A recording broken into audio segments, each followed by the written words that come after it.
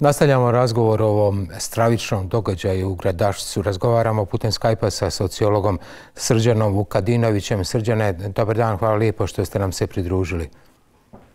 Dobar dan i vama i našim i vašim gledalcima, ako može biti dobar dan posle ovakve zaista nevelike tragedije. Srđane, vi ste, vi ste čovjek od struke i šta struka kaže, kakvo mi to društvu živimo, kako je moguće da smo postali ovakvi ljudi koji stotinama lajkova podržavaju ubistvo ili desetinama hiljada pomno prate to odvijanje ubistva?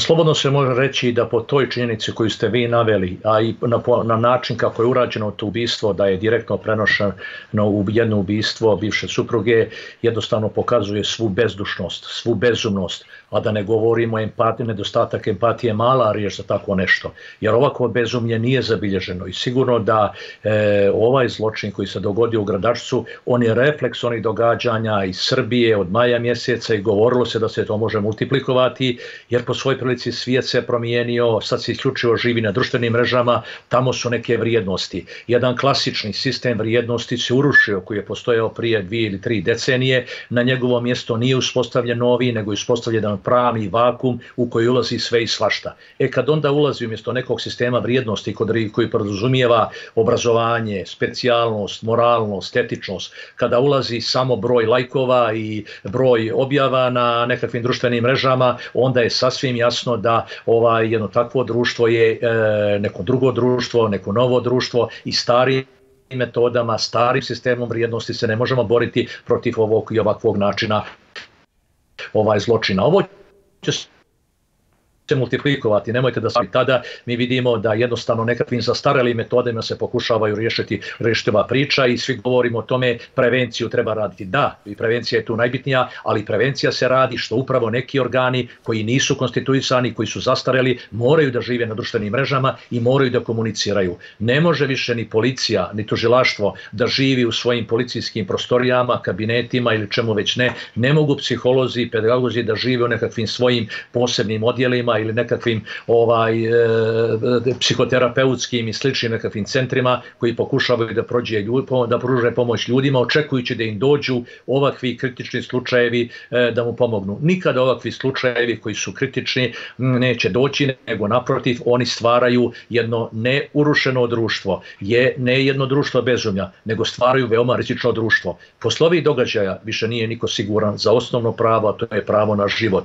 Znači, rizik nam je svude svuda, bilo na fakultetu, bilo u školi, bilo u gradu, bilo na sportskom terenu, ovaj to se sve samo multiplikuje. Tako da mi tim zastarelim načinima i sredstvima se pokušavamo boriti, a da ne govorimo o radu i tim zastarelim metodama. Vidjeli smo ovdje, mi imamo te slučajeve prijavljivanja određenim organima, bilo unutrašnjih poslova, bilo nekih drugih i jednostavno oni pušte takvog nasilnika jer, ne, jer se ne miješaju svoj posao. To je taj zastarili metod rada.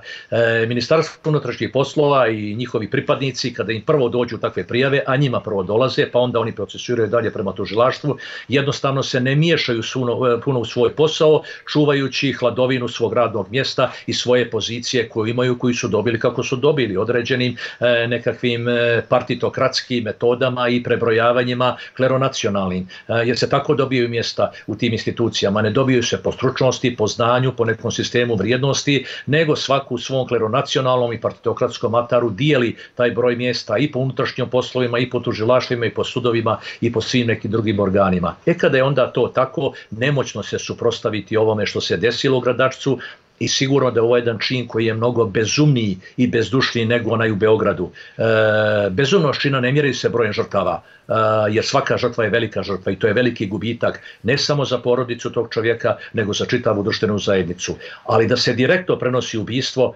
to još do sada mislim nije zabilježeno u analima makar ovog prostora, jeste po Americi zabilježeno, ali u analima ajde još do slovenskog prostora da idemo da ne idemo gdje dalje, nikada to nije ovaj e, zabilježilo. I sada će se naći opet neki drugi ljudi koji će pokušati kao što su neki posle ovog dječaka iz Beograda pokušali da ga preteknu u nekakvim činovima ili nečinovima, tako će se sigurno sada naći nekakvi pojedinci e, zbog nereagovanja sredine i nereagovanja institucije koji će pokušati da naprave još bezumnija, još bezdušnija i još monstruoznija dijela. Gospodine Vukadinović, potpuno se slažem s vama da je, da je sav taj sistem ovog društva ili ovih društava uljuljkan u, u neku samodovoljnost, potpuno ispustio iz vida stvarnost koja mu je daleko izmakla i, i koju više očito i ne zna ni kako kontrolisati. Ali ovdje imamo i neke, neke elemente više različitih elemenata. Taj čovjek je prije svega nakon što ga je supruga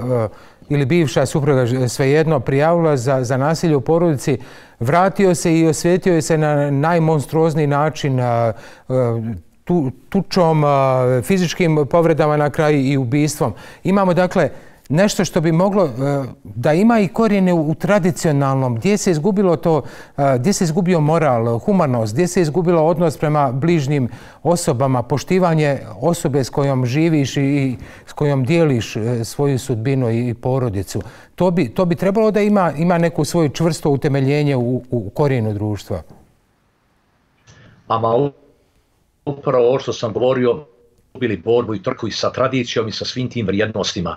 Znači, e, zbog upravo galopiranja društvenih mreža i života na društvenim mrežama, Danas se sva znanja stiču na društvenim mrežama, danas se fakulteti završaju preko društvenih mreža, ne morate uopšte da idete ovaj, u fakultetske prostorije, bilo koji fakultet po svijetu, ako ne može po e, našoj zemlji, našim zemljama može negdje drugo i onda kada je to tako, onda sve se urušava i postaje sve bezumno, sve postaje, što ja kažem, bižuterija društvo. Znači ima onu vrijednost kao što ima bižuterija. I u svakom slučaju ovdje mi vidimo reagovanje organa zaista neodgovorno. E, mnogi organi unutrašnjih poslova prilaze puno neozbiljno takvim prijavama. Smatraju ovaj ne da nisu toliko bitne i da neće biti toliko značajne da bi dovele do ovakvog čina kao što je došao u Gradačac. To me naravno doprinosi i mnoge nevladine organizacije koje kada uzmu to u svoje ruke da se bave nekakvim oblicima nasilja ili zaštite žrtava od nasilja, prave žrtve su zapostavljene,